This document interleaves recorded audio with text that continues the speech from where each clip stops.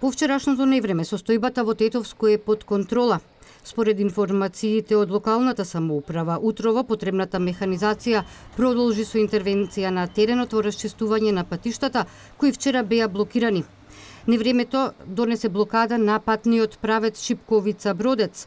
Градоначалникот Теута Арифи вели дека ситуацијата постојано се следи. Патот е проден со тешкоти.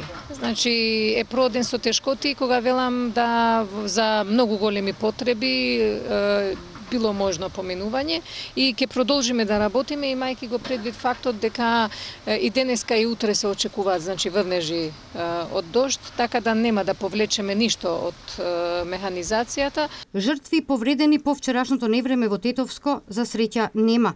Екипите на противпожарната единица постојано се во контакт со лицата на терен, како и со кризниот штаб, кој е подготвен да реагира.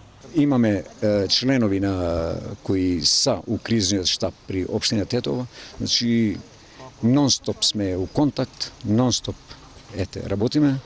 Среќа на ова несреќа што немаме ни повредени ни, ни жртви, бидејќи примарна цел наша е како кризен штаб е, само людските животи и нивните добра.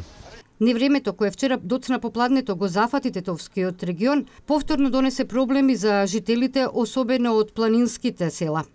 Од Обштина Тетово велат дека се работи на реализирање на плановите за превенција, кои ќе бидат долгорочни решенија.